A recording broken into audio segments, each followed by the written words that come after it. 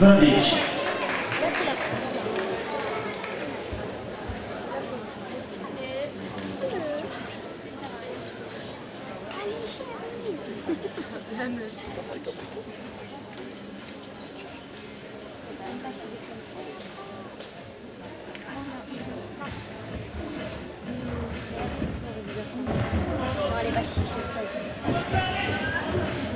Non,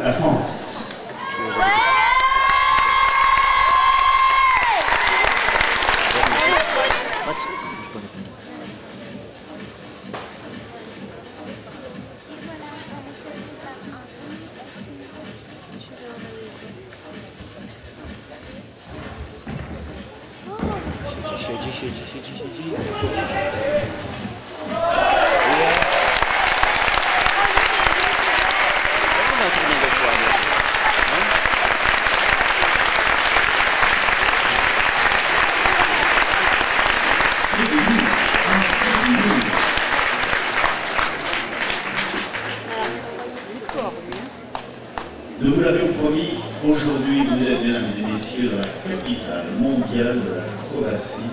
Et ça n'est pas. Voilà, nous regardons juste